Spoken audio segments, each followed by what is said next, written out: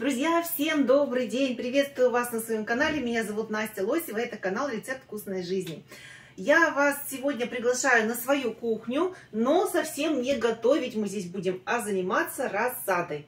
Сегодня я хочу вам рассказать э, секреты сильной рассады. Сегодня мы с вами будем готовиться к богатому, вкусному урожаю. Я расскажу э, все э, принципы, которыми я руководствуюсь в выращивании рассады. А почему я говорю, что они немножко отличаются от тех, возможно, которые применяете вы? А сейчас все расскажу подробно, все покажу наглядно. Сначала хочу начать а, с вот этой рассады перца. Посмотрите, какой он у меня хорошенький. И а, сразу хочу сказать, вы, наверное, замечаете, да, что он не такой прям огромный, с листьями, лопухами, да, Хотя горшок, кашпо у него литровая. Видите, какой он? Но листья у него вполне абсолютно здоровые и даже уже выдвигаются цветоносы. В чем же секрет и в чем а, вообще дело? Значит, хочу сказать, что у любой рассады, давайте мы с вами договоримся, есть вершки и есть корешки. Так вот, для того, чтобы мы с вами могли получать все лето, весь сезон, очень богатый, обильный урожай, чтобы растения, которые мы с вами выращиваем, соответствовали тому, что заявлено на упаковке, то есть чтобы мы получили такое же растение с вами и не были разочарованы, нам нужно сделать несколько действий. Во-первых, то, что я уже говорила, когда мы с вами делали посевы, обязательно нужно правильно рассчитать, сроки посева рассады для своего региона. Я знаю, что в многих регионах сейчас только начинают э, сеять, потому что такие температуры. Э, ничего страшного, есть э, хорошие средства, которые э, помогают ускорить рост и развитие самой, самое главное рассады. Хочу сделать акцент именно на то, что нам важно развитие рассады, а не, не буйный ее рост. В чем же здесь отличие?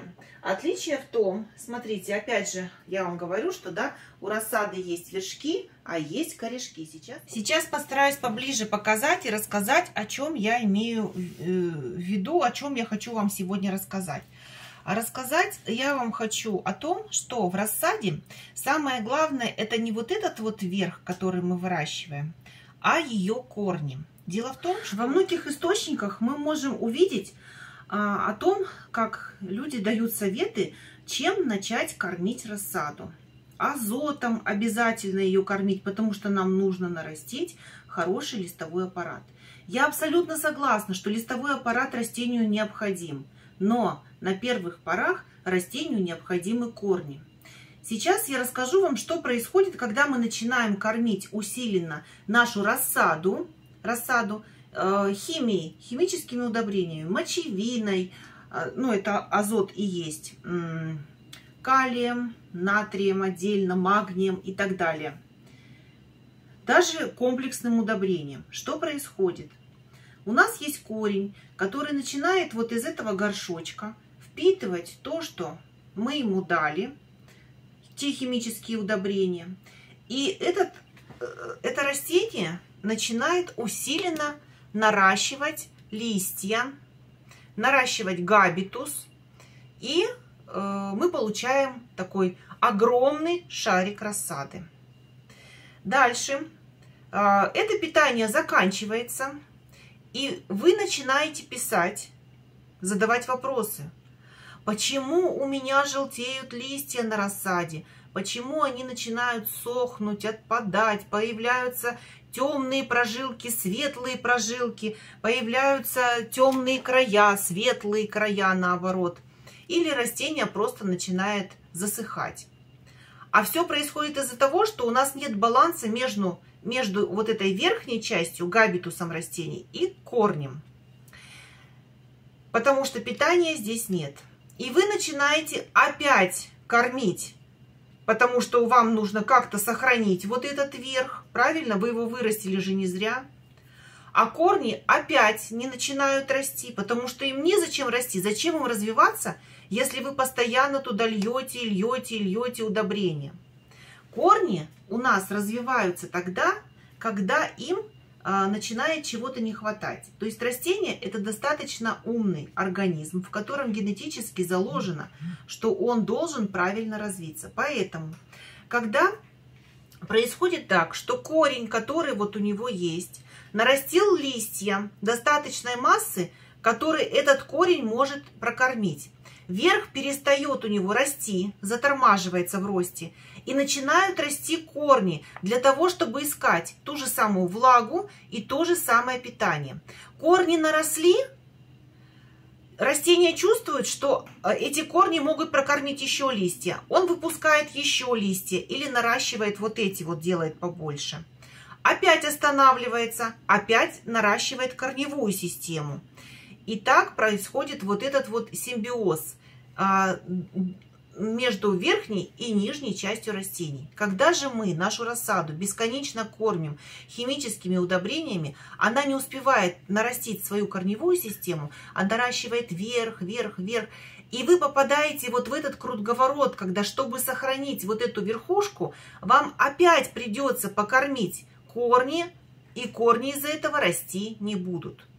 Все. Потом мы с вами высаживаем это растение в открытый грунт, и опять же корней нет, и нам все лето приходится кормить бесконечно химическими препаратами, потому что как только мы перестанем это делать, сразу же привет хлороз, а, нехватка магния, ну нехватка всех, в принципе, элементов. Поэтому я вас очень призываю, а, нужно взять себя в руки, как-то успокоиться и обратить внимание именно на то, что у вас находится вот здесь, вот корни. Нам сейчас не важно вот даже вот это вот вырастить, потому что если мы с вами вырастим отличную, мощную корневую систему, то потом, когда мы пересаживаем ее в открытый грунт, эта мощная корневая система начинает с огромной силой выдавливать, наращивать листья, здоровые листья. Там у нас будет много питания. И эти листья уже будут давать нам урожай и будут э, кормить тоже растения. Поэтому давайте мы сейчас... Это относится к любой рассаде, будь то баклажан, будь то томат. А к баклажану, томату и перцу это относится особенно, потому что эти культуры плодоносят в течение 3-4 месяцев у нас очень долгое время, поэтому мы не можем рассчитывать на маленькую корневую систему, иначе у вас он выдаст первый урожай, вы его снимете, и все, растение надолго замрет, пока оно опять не нарастит корни. Поэтому первое правило у нас – это правильный расчет посева рассады, о котором я уже рассказывала, как это сделать. Если вы пропустили, спросите меня, я вам обязательно отвечу в комментариях. Второе. Наращиваем не вверх, не стараемся нарастить вот здесь дебри, которые мы потом начинаем ломать, когда везем их на дачу, а начинаем выращивать корни. Я сейчас при вас переверну вот этот несколько стаканчиков. Я расскажу, как сделать так, чтобы корневая система была богатой, как нарастить корни. Давайте посмотрим, что у меня здесь есть. Вот такой томат. А, сколько у него? 4 Пятый настоящий листок. Посмотрите, какая корневая система. Эти томаты, вообще никакую свою рассаду, я не кормлю э, химическими удобрениями. И даже никакими комплексными удобрениями я их не кормлю. Вот видите, корешки должны быть белые, они должны быть серые. И вот уже даже начинает оплетать, э, можно его даже переваливать уже. Видите, растение осваивает весь земляной ком. Хотя сверху оно еще достаточно маленькое, я бы сказала. Давайте посмотрим вот этот перец, например, в литровом кашпо. Что у него с корнями. Вот, посмотрите, какая корневая система. Толстые белые корни. Видите? Хотя растение тоже сверху кажется не таким уж большим. Но какие здоровые у него корни. Что же нам делать тогда, спросите вы? А как стимулировать вот эти вот корешки? Кстати, это же относится и ко всем цветам. Вот здесь я то же самое сейчас буду делать и с петунией. Насыпала на нее немножечко. Друзья, а делать Что же нам делать? Нам э, нужно с вами пользоваться микробиологическими удобрениями. А, биопрепарат. Чем же работа биопрепаратов отличается от э, работы химических препаратов, которые мы даем нашим растениям? Дело в том, что биопрепараты в своем составе, как правило, содержат а, микроорганизмы, а, взятые из натуральной живой природы. Они просто усилены при помощи селекции, они находятся в более высокой концентрации. Так что же они делают? Эти микроорганизмы при внесении в грунт делают э, те элементы, которые есть а, есть в воздухе, есть в грунте, есть в воде, которую мы поливаем. Но только эти микроэлементы не могут быть усвоены растениями, поскольку они находятся в такой форме, недоступной для растений. Так вот, микроорганизмы, а, которыми мы заселяем грунт, переводят эти микроэлементы из воды, почвы, воздуха, а, в такую форму, которая может усвоиться а, нашими растениями. Соответственно, весь объем грунта, в котором находятся корни растений, это питательная среда. То есть нет так, что питание находится только возле корней растений. Нет. А, эти микроорганизмы э, во всем объеме грунта, и они делают э, его плодородным. Растение знает, в какой момент его жизни, что ему нужно. Я уже объясняла, да, что он вырастил два листа, чувствует, что у него корни слабые. Он сначала наращивает, э, помидор, например, наращивает корневую систему, потом дает следующие два листа. Так работает э, вот это развитие э, томата. Я понимаю, что это может быть слишком занудно, это может быть слишком сложно, но я считаю, что важно понимать, а, как работает вот это вот э, выращивание рассады, из чего оно состоит. А, так вот, наша с вами задача сделать просто плодородный грунт, а, таким образом, чтобы все элементы находились в доступной для э, организма растения форме. А дальше Рассада сама поймет, что ей делать и какие микроорганизмы брать. Я э, в этом плане использую вот такое микробиологическое удобрение. Оно очень хорошее, оно мне нравится а, и по составу, и по форме использования, потому что это гранулы, которые я просто засыпала в грунт, перемешала, и ничего абсолютно не делать не надо. У меня в моем телеграм-канале а, я не буду делать ссылку в ютубе, потому что это не реклама, но вы можете зайти в мой телеграм-канал, я оставлю ссылку, а, где я делилась э, как раз информацией вот по этому, а, э, по этому препарату. Оно действительно очень хорошее, с хорошим расходом. Здесь 800 грамм. Вам на, 1 квадрат, на 10 квадратных метров вот перекопку, если вы копаете, 60 грамм всего лишь нужно, это 3 столовые ложки. А, можно также в междурядье, кто уже посадил, можно внести в междурядье и немножко прорыхлить. Можно обязательно, не, не можно, а нужно под кусты. Вот я буду его и поджималость свою вносить обязательно. А, это наше российское производство, компания Вашинком, поэтому, а, в принципе, можно заказать в любой момент, но, конечно, в сезон все это пользуется повышенным спросом. Что же я делаю? Вот у меня объем грунта здесь 5 литров. На эти 5 литров я внесла одну столовую ложку. Перемешала, вот они, вот эти вот гранулы. И теперь я наполняю а, питательным вот этим грунтом горшок и буду переваливать туда растения. Я надеюсь, что вы поняли, в чем смысл сильной рассады. Зададите мне вопросы, если вас будет интересовать. И еще хочу сказать третий фактор правильного выращивания рассады. Третий фактор – это то, что нам нужно а, сделать такие температурные условия, сделать, сделать такие температурные условия, чтобы днем рассаде было тепло, то есть около 20-24 градусов, вот в этом диапазоне. А ночью температуры были пониженные. Это для того, чтобы рассада не вытягивалась. Именно в таком э, режиме, в таком температурном режиме рассада у вас будет коренастая и крепкая.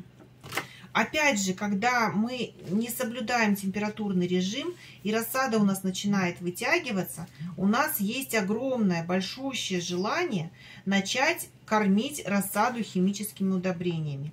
Вот я вас очень прошу, просто умоляю, не тянитесь в первую очередь вот к этой химии.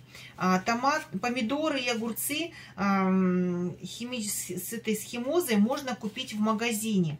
Мы с вами пытаемся вырастить а, здоровый, вкусный урожай высокого качества, чтобы это были именно витамины, а не просто какая-то клетчатка. Кстати, вот это удобрение 33 богатыря, которое я вам показала, оно значительно улучшает качество а, урожая, которое мы получаем. Вкусовые качества, и, естественно, содержание витаминов. Но когда растению доступны а, все микроэлементы, которые ему надо. То есть получается так, что микроорганизмы, которые мы вносим, они переводят в доступную форму все микроэлементы.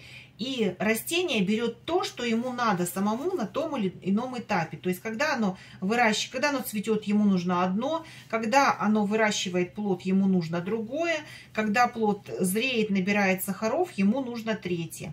И вот все это растение само регулирует для себя. Поэтому сейчас когда мы вот так сдобрили а, грунт посадочный а, удобрением, биопрепаратом, я даже не назову это удобрение, это биопрепарат, 33 богатыря, то растение будет наращивать именно корневую систему, потому что оно такое маленькое еще.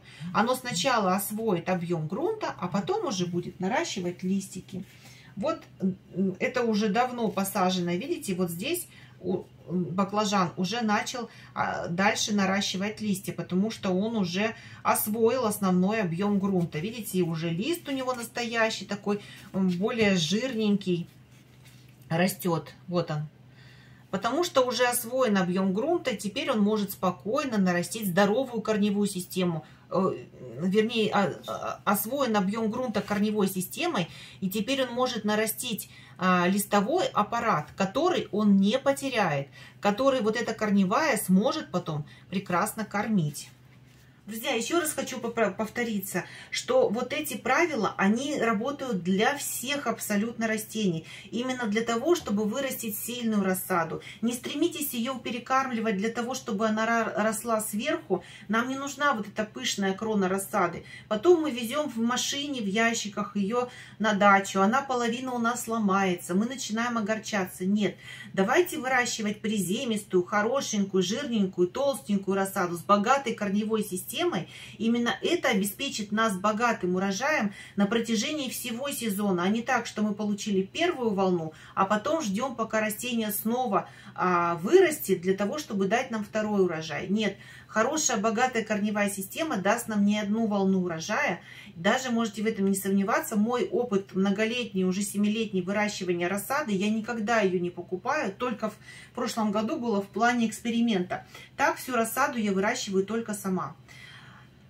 Итак, э, правильные сроки посева, э, корневая система и температурный режим. Все это обеспечит нас богатейшим, вкуснейшим урожаем. Я желаю вам здоровья, мира, добра. Пишите свои а, отзывы, ставьте лайки, пишите вопросы. Я стараюсь отвечать в самое кратчайшее время.